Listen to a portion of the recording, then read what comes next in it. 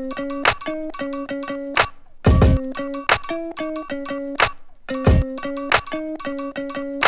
yeah, yeah, yeah, it's your homeboy Young Buck. I'm just let you know, man, anytime I come to the 805, I have a good time. It's been hood. I gotta get back out on the road, letting the world know Buck the World, March 27, my album out. Y'all make sure y'all go get that. 805, I know everybody out here gonna buy my album, man. Clubhouse Morning Show, it's always been good. West Side out this motherfucker. All right.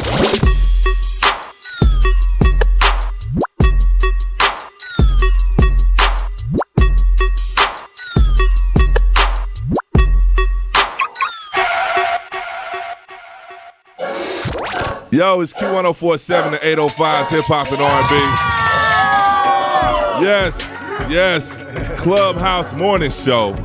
Your man Big Bear. And uh, Nancy Rodriguez, buenos dias. And of course, DJ Myron in the studio. Yes, and we are hanging out, and we got a special guest in the studio who gets crazy love, man. we Just Yeah.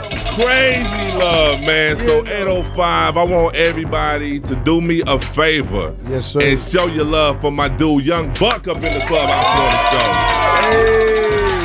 Hey! Hey. Young Buck, early in the morning.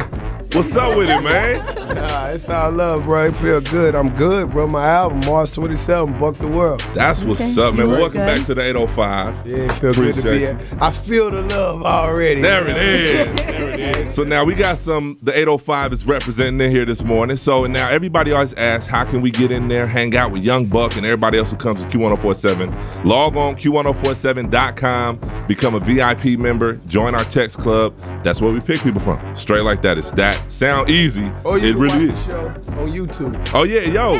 Buck has we got a Q1047 YouTube channel too, and Buck's segment when he was here last time with Fred Rock has the most hits out of anything. So if you hit my segment up, if you hit Young Buck and punch my name in on YouTube, definitely gonna see Q1047 pop up. That's how it goes. love it. See, that's what we do. It's called marketing. You know what I mean? it's It's called that promotion, cross promoting. That's how we do. Called airwave pimping. you gotta use it. Gotta use it. So now March 27, Buck the World. What's up with it, Yeah, it's crazy, man. I put together another classic. You know, if you was a fan of Straight Outta Cashville, you're definitely gonna be a fan of this album. Right. A lot of features. Dr. Dre's on this album as far as Ah, production. He okay. showed up a couple times, and you know, it's just a star-studded record from the top to bottom. I base my music off of reality. You're gonna get that same street feel that you always get from Young Buck, but at the end of the day, you know, as a man, you only get older. So hey, I'm more. I'm, I I think it's more of a, a mature reality street record. That's what's more or less than when I came far as my first record. It was brand new. I was fresh. So you getting that same thing, but it's more more set in with me where I'm at with it. So now we got some 805. Who got questions for Buck?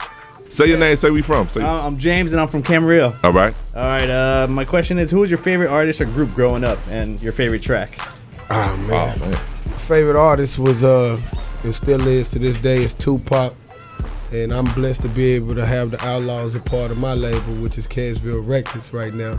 Oh, and wow. uh, yeah, I definitely know just signed Okay. them, as well as C-Bo from the West Coast. Word. So yeah, I got a lot in the making. Okay. But yeah, it's Tupac. My favorite group, with all honesty, would be the Outlawz. You know, because I, I feel like you know, when we sit here and we say uh, Tupac gone, and we all know he's gone, but he's still here when you see them.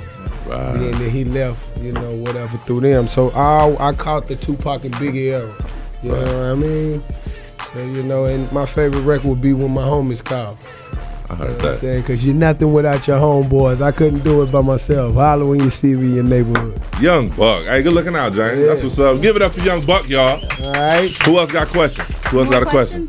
Questions? Come on, Say your name. Say where you from. What's up, 805? This is B from Ventura. You act like you done did this before. Yeah, she really does. Yeah, you. Go ahead. Mark. Yeah. Anyways, um, I want to know when the next G Unit album's coming out. The whole G Unit family. The whole G Unit the past is good. Yeah. Well, the Uh, originals. You, original. Banks, 50. Yeah, yeah, yeah. Hey, right after my album, you're gonna get a 50 Cent album. Okay. He's in the studio right now getting up. Okay. And uh, right after that, G Unit. The G Okay, Unit so when's album. the General coming to the 805? When is who? The General, Mr. 50.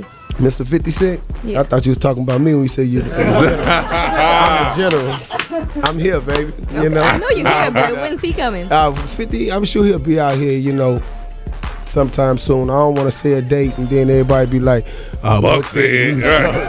Buck Nah, said. but I can, I can guarantee you he's gonna be here though. I'll give you that much and tell you that he's coming to the 805. You have no choice. You can't come to California without stopping through the 805, right?